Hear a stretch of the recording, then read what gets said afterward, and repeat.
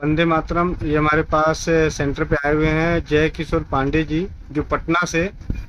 और इनका अनुभव है कि इनकी धर्मपत्नी धर्मपत्नी को 10 एम की पथरी थी।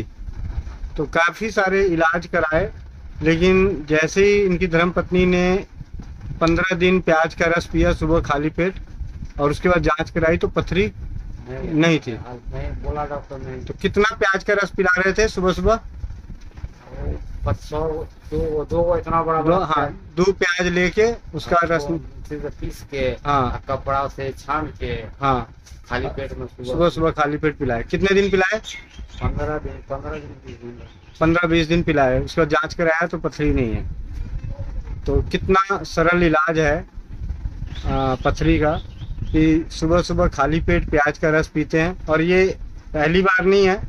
ऐसे अनेकों बार प्याज के रस से पथरी निकलती हुई देखी गई है। स्वस्थ समृद्ध परिवार निर्माण प्रयास में रसोई घर ब्रह्मांड की प्रथम औषधालय जागरूकता अभियान के तहत अनेकों बार यह उपचार परीक्षित है। कि सुबह सुबह खाली पेट प्याज का रस पीने से किडनी की जो पथरी है वो निकल जाती है।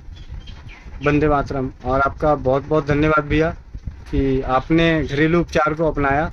हाँ, हम भाई सुबह से कहता है घर में उपचार अभी की जी धन्यवाद।